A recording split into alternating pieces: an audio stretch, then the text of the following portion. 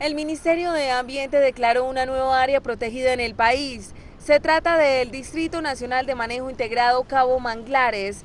Este se convierte en la nueva área protegida en el Pacífico colombiano. Estamos celebrando desde aquí el Pacífico esa gran noticia, estamos entregándole a esta comunidad y al país un área protegida, es el área de Cabo Manglares, de cerca de 190 mil hectáreas que vamos a tener aquí para proteger toda la riqueza marina del país. El país acaba de cumplir con anticipación su meta Aichi de tener el 10% del territorio marino en área protegida, tenemos el, cerca del 13.9%. Parece que es un gran avance y el país ha avanzado mucho en áreas protegidas. Pasamos, y yo insisto mucho, de cerca de 13 millones de hectáreas de áreas protegidas a 28.5 millones de hectáreas protegidas, garantizando protección de ecosistemas marinos y de ecosistemas continentales.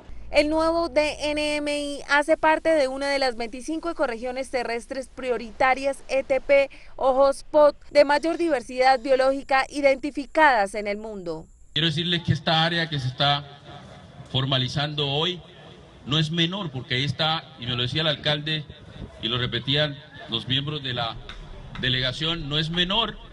Allí está nuestra seguridad alimentaria, pero allí está nuestra seguridad como seres.